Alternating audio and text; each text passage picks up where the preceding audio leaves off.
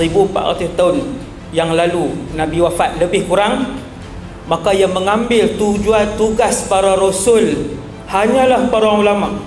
Pilot jangan hurai agama accountant jangan hurai agama askar jangan hurai bagi ceramah agama. Satgi dia jadi lain macam yang duk berlaku pada hari ini berlambak.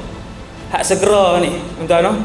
Dia mesti ulama yang hakiki ulama yang mutqin. Abaqirah amaliqah yang betul-betul menghurai agama mereka inilah Allah Subhanahu wa taala letakkan tanggungjawab rasul dan nabi untuk menerangkan kenapa Allah menciptakan bumi ini dan kenapa Allah mewujudkan makhluk-makhluk di atas muka bumi ini.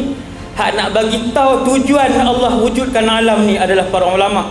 1400 tahun mereka melaksanakan tugas-tugas mereka.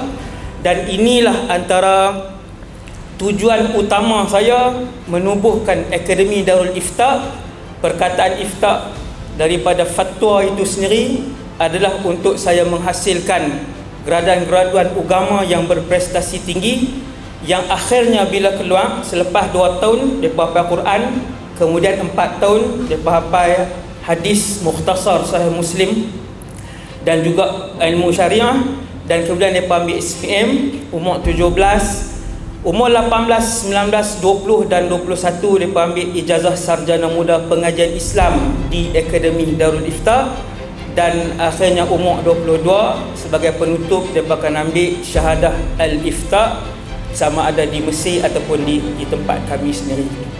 Maka setiap graduan daripada Darul Ifta insya Allah mampu dan boleh mengisi kekosongan kerusi-kerusi ahli majlis fatwa seluruh Malaysia dan saya harapkan juga daripada mereka lah keluar para mufti yang rabbani yang bercakap atas dasar iman yang bercakap atas dasar ilmu yang tidak berpihak kepada mana-mana kumpulan.